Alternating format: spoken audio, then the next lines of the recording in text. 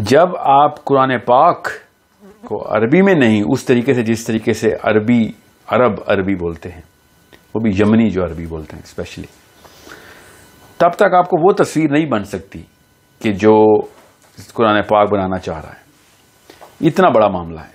तो ये बड़ा मामला रसाइल, इस सब कॉन्टिनेंट में हम जो लमा है, उनकी ट्रांसलेशंस पे जाते हैं। और मैंने एक चीज़ नोट की है कि हम जब उर्दू ट्रांसलेशन में जाते हैं तो बहुत सी आयात का मतलब बिल्कुल डिफरेंट तरीके से इंटरप्रेट किया होता है अगर हम उससे इंग्लिश ट्रांसलेशंस पे जाएँ।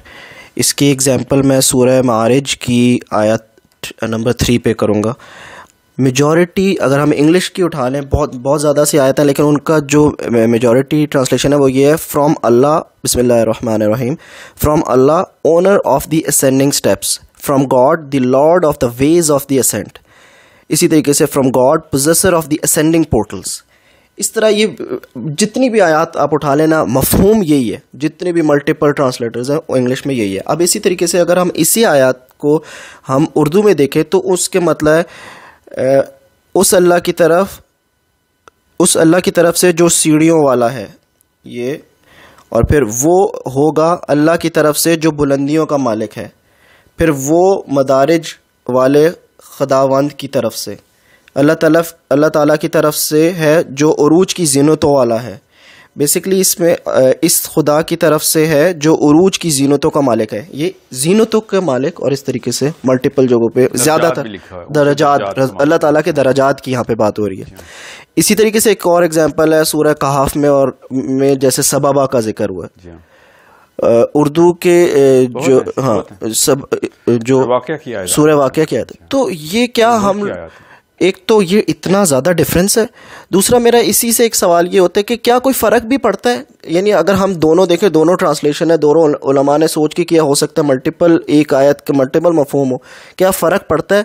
हम दोनों ले सकते हैं या क्योंकि हम उर्दू के तो हमारी एक मैंटेलिटी इन्हीं उलमा को अडॉप्ट करें और उसको रिजेक्ट करें।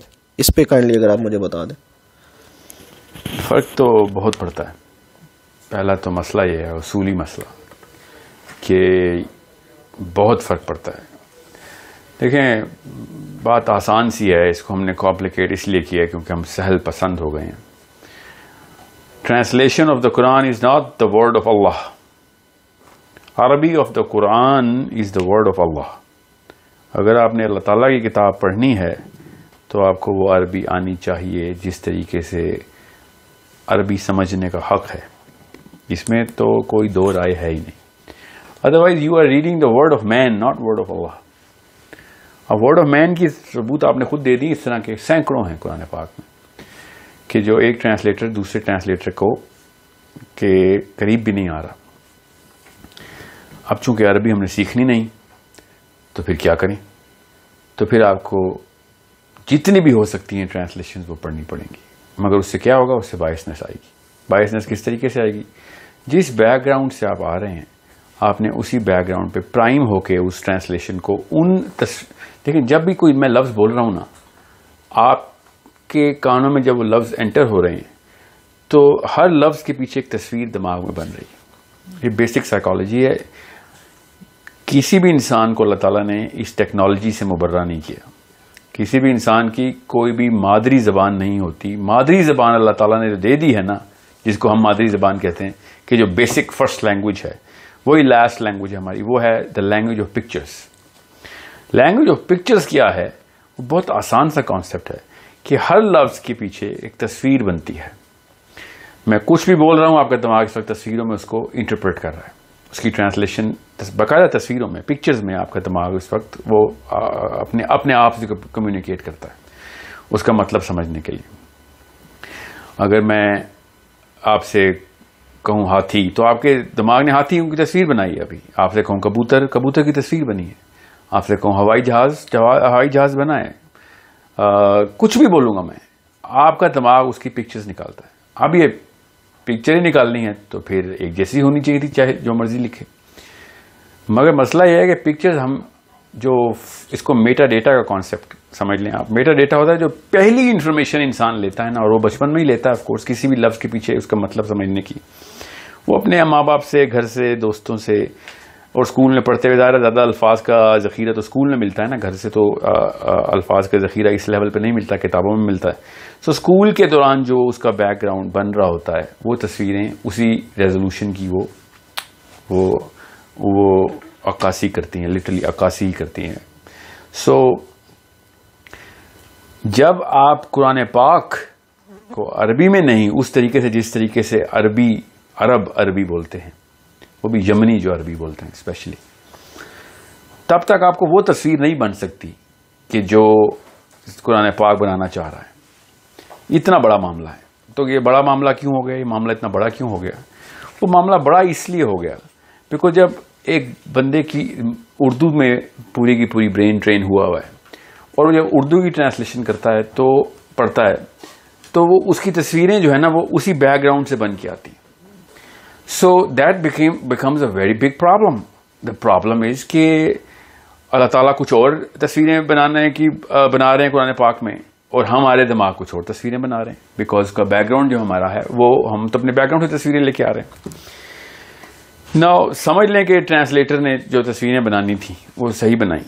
तो फिर दूसरे ट्रांसलेटर ने जिसने कॉन्ट्रडिक्ट कर दी, या कोई और अल्फाज का चुनाव कर दिया है, उस कोई और तस्वीरें बना दी। तो ये इतना बड़ा डिफरेंस इन साइकोलॉजी क्रिएट हो जाता है बिकॉज़ हर लफ्ज के पीछे जो तस्वीर है ना तस्वीर एक साइकोलॉजी है। तस्वीर के अंदर अगर एंडेंजरमेंट है तो फिर ख़तरे की और आ, जो है ना वो एनजाइटी की फीलिंग आएगी और आपकी साइकोलॉजी जो है ना उसकी उससे दूर हटने की कोशिश करेगी।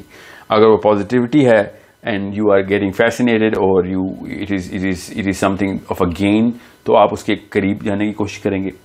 सो so, जो ये फैसिनेशन का लफ्ज मैंने जान के बोला है बिकॉज़ जो आपने आयात सुनाई है मारिज की सूर्य मारिज की there is the most one of the most fascinating surah in the Quran one of the most fascinating surah in the Quran it is so delicious this word of car कि जब अल्लाह ताला ने कहा ना कि मैं मारिज का मालिक हूँ ये वो उसकी तरफ़ से किताब है जो कि मारिज का मालिक है।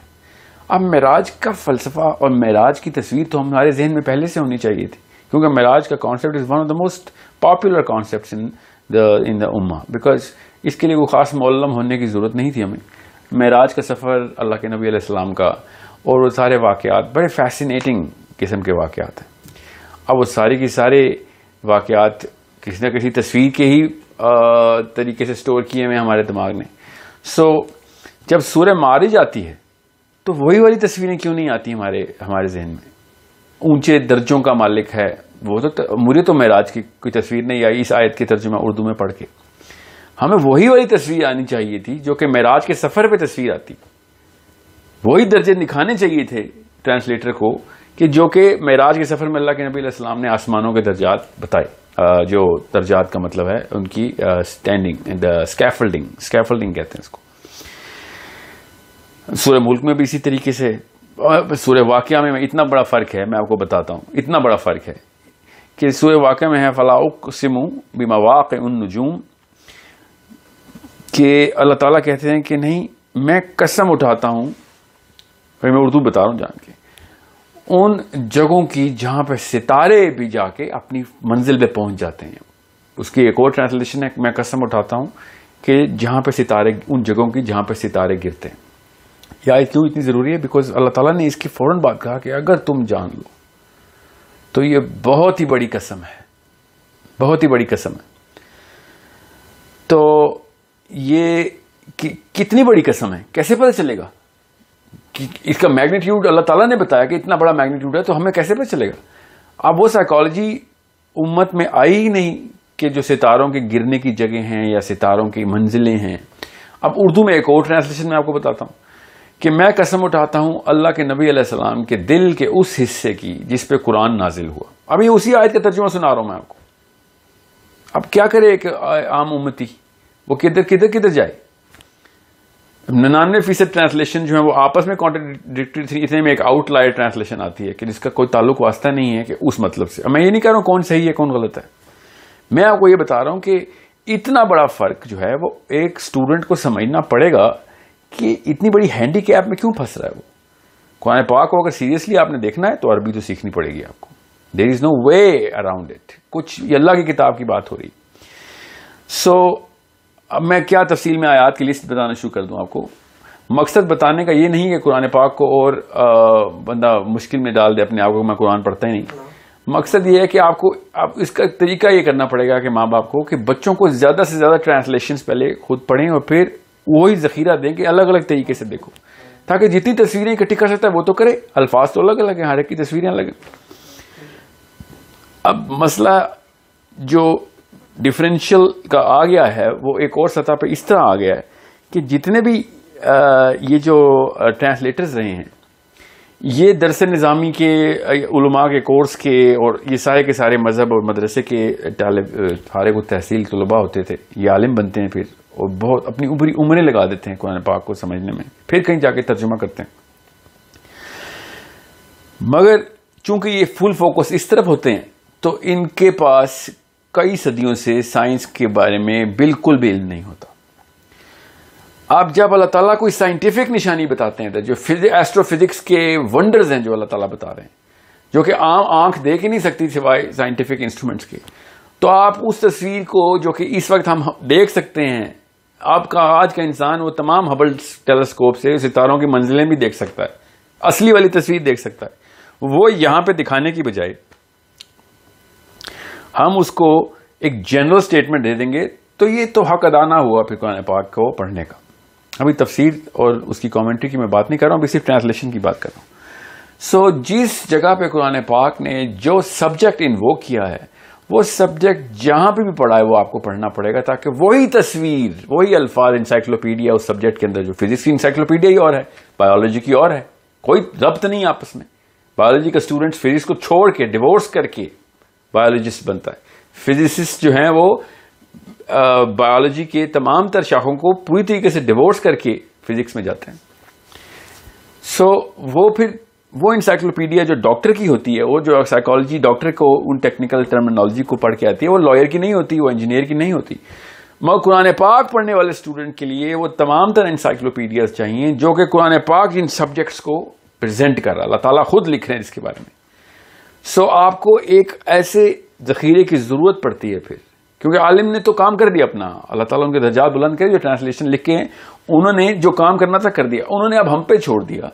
कि मैंने अपने मदरसे से जो साइकोलॉजी और जो पिक्चर्स की एल्बम उठाई थी इंसाइक्लोपीडिया उठाई थी, वो मैंने दे दी। अब इसके अंदर से जो तस्वीर आपके दिमाग में आनी चाहिए, वो जिस सब्जेक्ट की है, वो सब्जेक्ट आपको अपनी इंसाइक्लोपीडिया खुद क्रिएट करनी पड़ेगी। अदरवाइज़ कोई भी मुसलमान आज सबाबा का मतलब नहीं बता सका मुझे आज तक। जब सुलकरनैन सबाबा पे गया है, उसका मतलब ही नहीं पता किसी को। फला ओ कसिम भी मवाक उन नजूम का मतलब ही नहीं समझ आता किसी को। क्यों है जी इतनी बड़ी कसम? ये अल्लाह ताला ने कहा कि अगर तुम जान लो तो ये बहुत ही बड़ी कसम है। अब हमें पता है, फिजिक्स फिजिक्स, एस्ट्रोफिजिक्स में सबसे बड़ा वाक्य, जो कायनात के पिलर्स है ना, जो उनके यूनिवर्स के जो पिलर्स है, जो मेखें लगी हुई जिसपे कायनात ठहरती है, वो हैं वो जगह जहाँ पे सितारे गिरते हैं। The black holes the the the या सूर्य बरूज। सूर्य बरूज खोलें, आपको पता चले कि अल्लाह ताला ने कहा कि बरूज कहते किसको है? अल्लाह ताला ने कहा।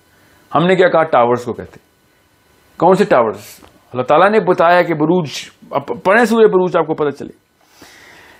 मैंने आपसे कहा ना कि मैं आयात की लिस्ट में नहीं जा रहा इस वक्त इसलिए माजरत चाहूँगा कि मैं आ, मतलब इस नारा प्रोग्राम फॉर स्टेटिस्टिकल एनालिसिस इस program for psychological analysis understand how big of a problem it is unless you do not know unless you know science, especially दो subjects, जिस पे इंसान अब इस लेवल पे आ गया है कि वो अपनी इंसाइक्लोपीडिया और पिक्टोरियल डायग्राम्स बना ले तब तक उसको वो आयतें समझ नहीं आ सकती। अनलेस ही नोज़ बायोलॉजी तो एम्ब्रियोलॉजी की वो आयतें समझ नहीं आ सकती।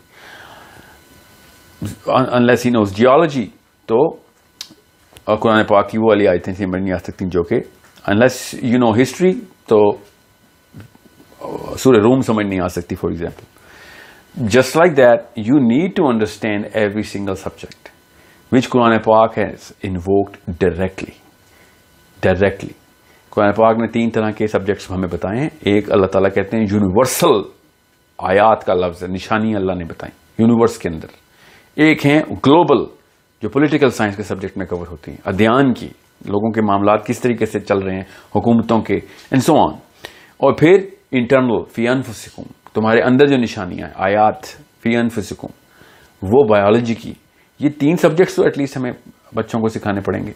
स्कूल तो नहीं सिखाते ये सब्जेक्ट्स फिजियोलॉजी तो स्कूल में नहीं सिखाई जाती। बायोलॉजी तो उस लेवल पे नहीं सिखाई जाती कि एम्ब्रियोलॉजी भी पढ़े बच्चा। No that's not gonna happen so अगर आपने बच्चे को कुरान हिफ्स करा दिया है, मगर साइकोलॉजी ये वाहिद किताब है दुनिया की ये वाहिद किताब है जो बगैर किसी साइकोलॉजी के पढ़ी जाए सिवाय नेगेटिव साइकोलॉजी के, इस किताब से और कुछ नहीं मिलता मुसलमान को। दुनिया की वाहिद किताब है जो पूरी उम्मत पढ़ती है, जिसमें से